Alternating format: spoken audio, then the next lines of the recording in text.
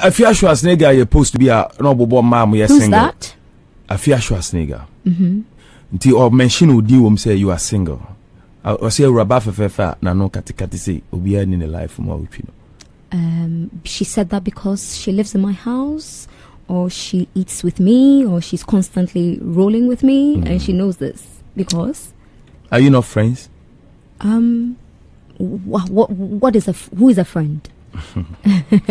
I know her. Ah. I know of her.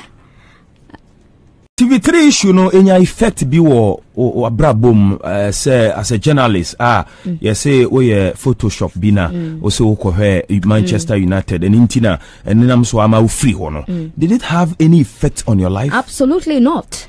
okay Absolutely. If it did, it was positive. Okay. And I think I, I, I should use this opportunity to correct it All right. because there was never a Photoshop. okay That picture that came out as a photo, somebody did it. There was never a Photoshop. oh so you didn't do that Nope.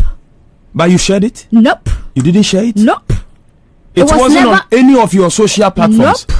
wow Nope. Nope. And, So how- how and did it TV3 happen? Mm-hmm. was aware.